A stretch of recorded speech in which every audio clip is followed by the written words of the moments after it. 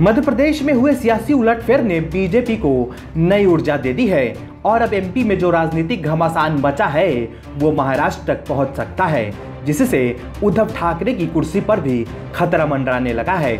MP में सिंधिया के कांग्रेस को बाय बाय बोलने के बाद कांग्रेस में बड़ी टूट दिख रही है। 22 विधायकों ने इस्तीफा दे दिया है और अब वे बीजेपी का दामन थाम सकते हैं। एमपी के बाद अब महाराष्ट्र बीजेपी नेताओं में नया उत्साह पैदा हो गया है। वहीं कांग्रेस खेमे में निराशा छाई हुई है। बीजेपी को लगता है कि जल्द ही उसके अच्छे दिन आने वाले हैं। वहीं कांग्रेस को लगता है कि मध्य प्रदेश की राजनीति का असर महाराष्ट्र पर नहीं पड़ेगा। महाघाड़ी सरकार सुरक्षित है, लेकिन एमपी की तरह महाराष्ट्र कांग्रेस में भी गुटबाजी चरम पर है। महाराष्ट्र की महाविकास अघाड़ी सरकार में भले ही कांग्रेस शामिल हो, लेकिन कांग्रेस के कई सारे विधायक अपनी सरकार से खुश नहीं हैं। पूर्व मुख्यमंत्री व कांग्रेस के वरिष्ठ नेता पृथ्वीराज चौहान कई बार ठाकरे सरकार के खिलाफ मुखर होकर बोलते नज़र आए। शुक्रवार को अपनी सरकार के बजट पर पृथ्वीराज चौहान ने आगे आकर सवाल किया कि बजट में रोज़गार बढ़ाने के लिए क्या किया गया है।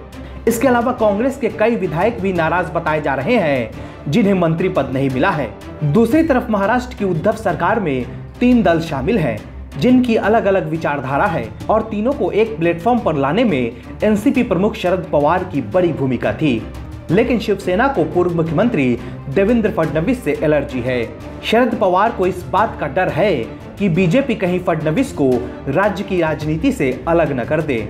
इससे एक बार फिर शिवसेना और बीजेपी करीब आ सकते हैं और इसी से ही एनसीपी शिवसेना कांग्रेस सरकार को खतरा पैदा हो जाएगा। इसके अलावा बीजेपी की नज़र कांग्रेस और शिवसेना के नाराज़ विधायकों को अपने पाले में लाने की है। ऐसे में 15 से 30 विधायकों को बीजेपी को सेट करना है और एमपी की तरह महाराष्ट्र में भी बाजी पलट सकती है। ब्यूरो रिपोर्ट ओएमएच न्यूज़ और भी वीडियोस देखने के लिए चैनल को सब्सक्राइब करें और बेल आइकन को दबाएँ।